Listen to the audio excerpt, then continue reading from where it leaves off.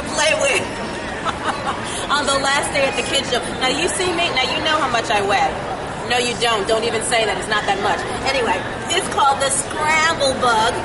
Ooh, and if it can get my take all my weight on it, it can take your child's. Anyway, here to demonstrate is Pete.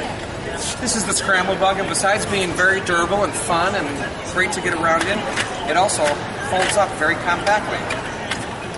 So you can make it flat, put it in a bag, and be on your way.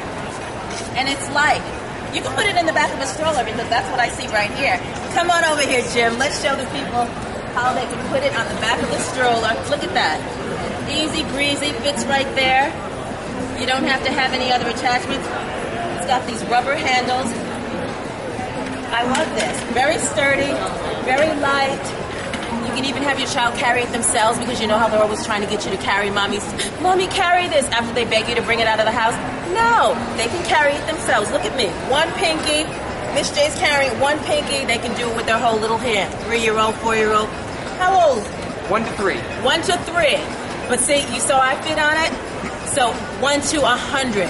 That's what I would say. Selling point, selling point, yay. Miss J loves this. It's simple, it's quick, it's easy, it folds up. You're not using it? Stick it underneath something. Put it in the closet. Stick it behind the door. Take it to grandma's house. The scuttle Scramble bug. Scramble bug. See, I want to say scuttlebug because that's what we're used to here, but they're Australian by Quick Smart. The scramble bug. Talk about compact. That's even smaller than this one. Look at this. The scuttlebug and the scramble bug. This is so cute, and it looks like a little bug. Look at the eyes. I love that. And this is even lighter.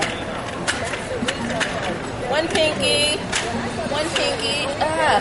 And see, moms, if you don't have weights, you can use this. One pinky.